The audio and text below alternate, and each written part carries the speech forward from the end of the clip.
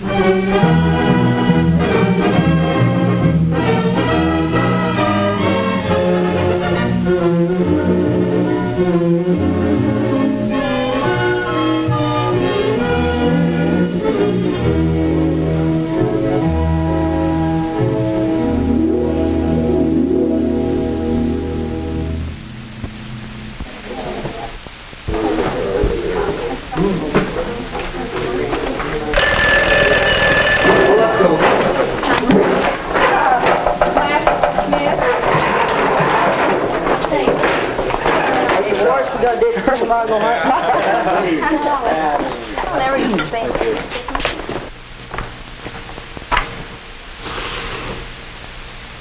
My name's Kay Reynolds.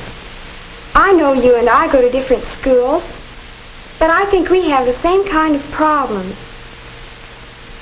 This year, our class is in a terrible fix. And I thought if I could tell you about it, maybe you could help us. Well, let's see. Why, we could start right here in this class. I remember it was just about a month ago, and Miss Baldwin was reviewing us for a quiz. When quiz will deal with the feudal system in Europe. Now you'll find this material on page 106 through 136. Jim, Yes, Miss Baldwin? put it down, please. Put what down, Miss Baldwin? Jim, Yes, Miss Baldwin, all right.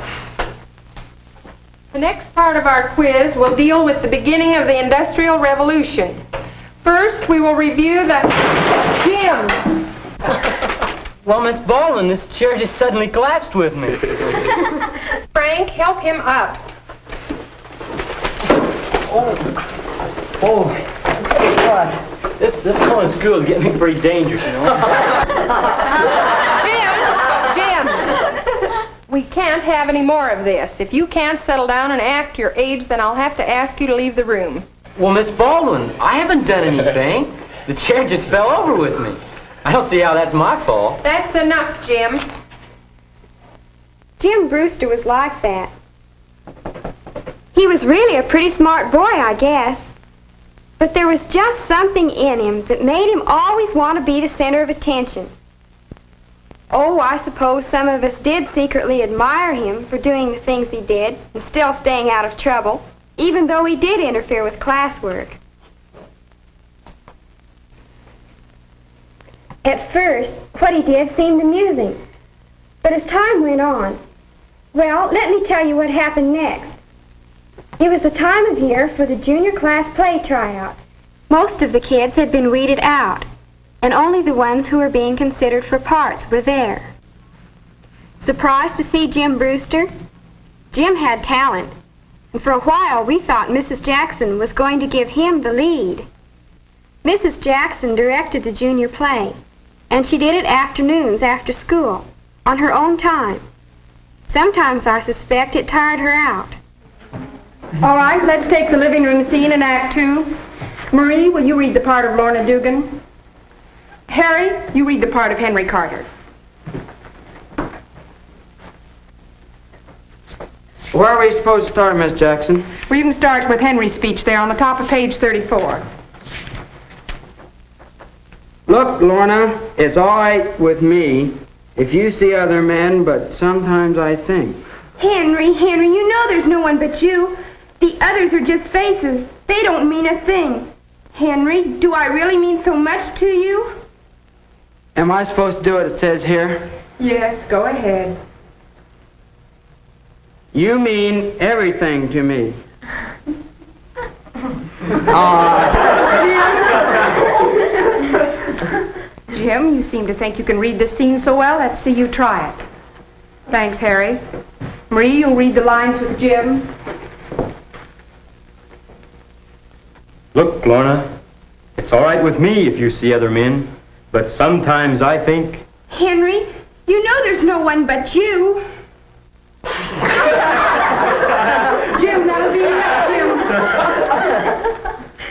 George, will you read the lines with Marie? Look, look, Lorna. I don't think we'll go on with tryouts this afternoon.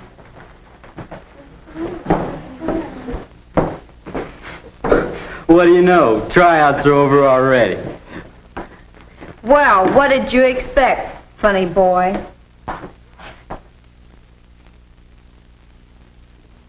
Jim's wise guy behavior was beginning to wear a little thin with those of us who were exposed to it.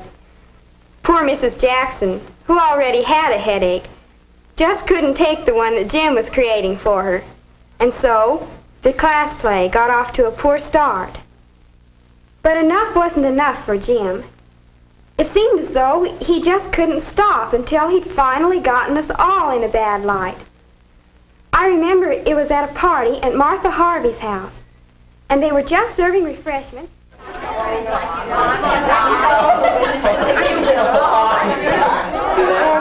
saw a guy do that. I'll bet you can. I'll just bet you you can't do it. I bet I can. I don't think you can. Okay, just walk.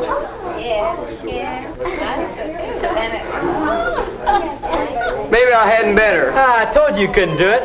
All right, I'll show you. Hey, look out! Oh, my best glove! Frank, I told you you couldn't do it. well, what's the matter? It's not the end of the world. I'll buy you some more glasses, Miss Harvey. Like you getting clumsy or something? You tripped me. Oh, I'm just sick about this glass and never will be able to replace it. I'm sorry, Mother. I don't know why you used your good crystal when you knew those young roughnecks were coming. Oh, I wouldn't call them all roughnecks. Well, a bunch of smart alecks then. Daddy, most of the kids acted all right, and Jim and Frank didn't mean to break the glass. Well, maybe not. But it makes you wonder about kids nowadays. In my day, when you were invited to a party, everybody was supposed to act like ladies and gentlemen. You can see how things were going. At first, it was just acting silly when most of us really wanted to review for that quiz. And then the teachers began to think of us as that class because of the nuisances that some of the kids were making of themselves. And after the party, well, some of the parents began to wonder too. But what happened later really cooked our goose. It seems Jim had practically run out of new ideas for ways of calling attention to himself in school. And so, one night, with the help of some of his friends, he hatched up this plan that was really daring, even for him.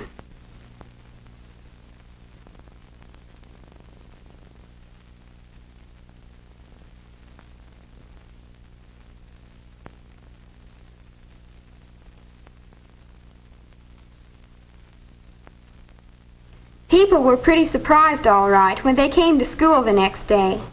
Jim and his helpers had created a sensation. The big sign was about all you could see, and it was evident that someone was going to have a difficult and dangerous time getting it down. Some joke. Maybe some of the members of the junior class got a kick out of it, but some of the other classes didn't think it was funny at all. They thought it was an eyesore on the whole school. Our principal, I guess you know, was fit to be tied. But even worse was the way most of us in the class felt. That big sign, like a badge of dishonor for all the town to see. Yes, the word really got around about the junior class. And that's what made us mad. The word that got around wasn't a true picture of the junior class as a class at all. It left out the good things we did, the fine play we put on, the important things we learned, and all the studying we did. No, our reputation belonged to Jim Brewster and the little gang around him who still thought he was pretty funny. After school that afternoon, the principal called the officers of the junior class into a meeting. Several of our teachers were there. I'm afraid this class has put itself in a bad light. The stunt that was pulled last night has made it very embarrassing for the whole school, and for me personally. I've had several telephone calls from people who want to know what kind of a school we're running here. And frankly, I'd like to know myself. What we want to know is what's behind all this. There's nothing behind it, Mr. Scott. It's just a bunch of smart alecks showing off. There's, there's nothing malicious about it. Do you know who the ringleader is? Do you, Kay? Yes, we know. It doesn't take news like that very long to get around. You can understand my problem, can't you? As far as the people outside of this school are concerned, I am responsible for what goes on here. When some members of the class do something to disgrace the class and the school, it's up to the other members of the class to do something about it. Well, what can we do? Have any of you ever complained to these people who show off? Or do you really encourage them by thinking they're cute? Have you ever tried anything like ignoring them? Why do you suppose these people show off? Don't they have enough to do? You asked me what you could do. I think you class officers should get together and discuss this problem among yourselves and come up with your own suggestions. Then we'll meet here Wednesday afternoon and work this problem out together. Thank you all for coming.